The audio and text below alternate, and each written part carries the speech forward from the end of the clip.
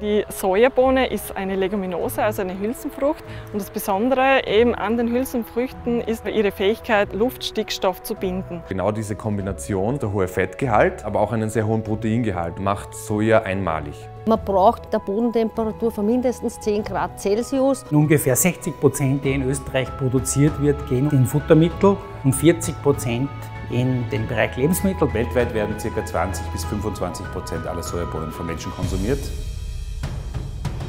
Der Soja hat einen sehr hohen Eiweißgehalt und das ist eigentlich der wichtigste Grund, warum Soja in der Fütterung so wichtig ist. Die Gentechnik ist in Österreich stark in der Kritik und sehr viel von Überseesoja ist Gentechnik verändert.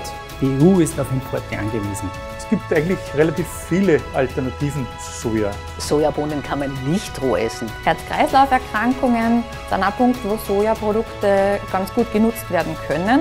Es gibt einfach für Soja so viele wirklich exzellente Produkte. Es ist erstaunlich, in wie vielen Produkten man Soja finden kann. Ich glaube, davon muss man wegkommen, dass man sagt, das ist ein Ersatzprodukt